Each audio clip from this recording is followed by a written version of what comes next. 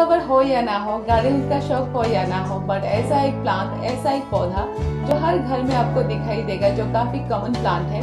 सो so guys आज का इस वीडियो में हम लोग मनी प्लांट के बारे में बात करेंगे मनी प्लांट की वेराइटीज के बारे में बात करेंगे।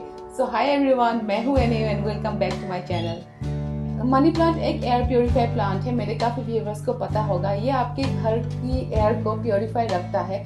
आपके घर का जो हार्मफुल कंपोनेंट होते हैं एयर में उसको एब्जॉर्ब करके आपको फ्रेश एयर देते हैं आपको हेल्दी रखता है। इसीलिए मैं तो कहती हूँ आपको मनी प्लांट आपके घर में आपके ड्राइंग रूम में बेडरूम में किचन में हर जगह में रखना चाहिए क्योंकि आ, ताकि आप फ्रेश एयर ले सके। और गाइस इसका जो मेंटेनेंस केयर है ये काफ़ी इजी है। मनी प्लांट को आपको ग्रो करना बट इसकी लाइटिंग इसकी मिट्टी, कैसा इसमें पानी देना चाहिए, हर बात में बताऊँगी, लेकिन इस वीडियो में नहीं नेक्स्ट पार्ट टू में मैं बताऊँगी, क्योंकि अगर एक ही वीडियो में मैं सारी बातें बताऊँगी तो आप लोग भी बोर हो जाएँगे और वीडियो काफ़ी लंबा हो जाएगा। ऐसे तो मनी प्लांट की अलग अलग वेराइटीज होते हैं, लेकिन सभी वेराइटीज में एक काफ़ी कॉमन प्लांट है, जो काफ़ी कॉमन हाउस प्लांट है। आप हर जगह में, शायद आप लोग ने देखा होगा इसमें वेरिगेशन जो है, ये काफ़ी कम होते हैं। इसमें ग्रीन ज़्यादा होते हैं, देख सकते हैं आप लोग, नज़दीक से मैं दिखा रही हूँ। इसमें ग्रीन ज़्यादा होते हैं और जो येलो पैचेस होते हैं येलो इसमें कम होते हैं।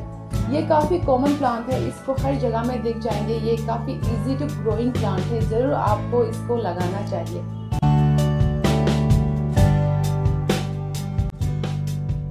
सेकेंड जो वेराइटी मैं आप लोगों को दिखाने जा रही हूँ गाइस मेरा सबसे ज़्यादा फेवरेट है।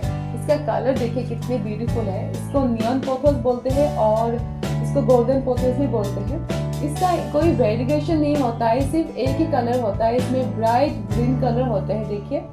इसको नियन पोथस बोलते हैं, इसलिए इसको अपने कलेक्शन में ज़रूर रखिए गाइस आप इसको अपने सेंटर टेबल में ड्राइंग टेबल में रखिए। काफ़ी ब्यूटीफुल और ब्राइट दिखता है।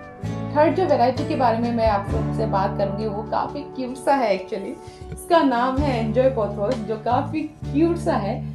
इसका जो लीव्स है, ये ग्रीन और व्हाइट का कॉम्बिनेशन है। और इसको आप हैंगिंग बास्केट में लगाइए तो काफ़ी ब्यूटीफुल लगता है। और इसका जो लीव्स होते हैं, ये दूसरी पोथों से थोड़ा थिक होता है, थोड़ा मोटा होता है, देखिए।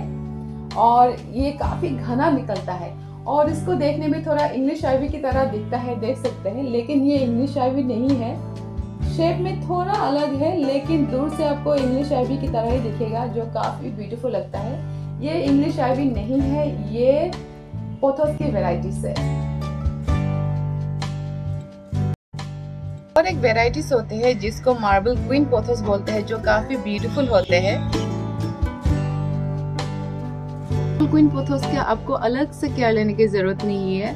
दूसरी वेराइटीज की पोथोस का जैसे आप ख्याल रखते हो, जैसे मिट्टी देते हो, पानी देते हो, सलनाई देते हो सेम मार्बल पोथोस का भी वैसे ही आपको मिट्टी, पानी देना है। मार्बल क्वीन पोथोस का जो वेरिएशन होता है, वो थोड़ा ज़्यादा होते हैं। इसका जो लिप्स है, उसमें वाइट ज़्यादा होते हैं और ग्रीन थोड़ा कम होते हैं। और इसका जो लिप्स है, थोड़ा बड़े होते हैं। गाइस आज के लिए इतना ही। अगर वीडियो अच्छा लगे तो एक लाइक कर देना। और अगर आप मेरे चैनल पे नए हैं तो प्लीज़ सब्सक्राइब करना मत भूलिएगा। और साइड में जो बेल आइकन है, उसको भी दबा दीजिएगा, क्योंकि मेरा नेक्स्ट वीडियो जब भी आए, आपके पास पहला नोटिफिकेशन आ जाएगा। तब तक स्टे सेफ़ एंड बाय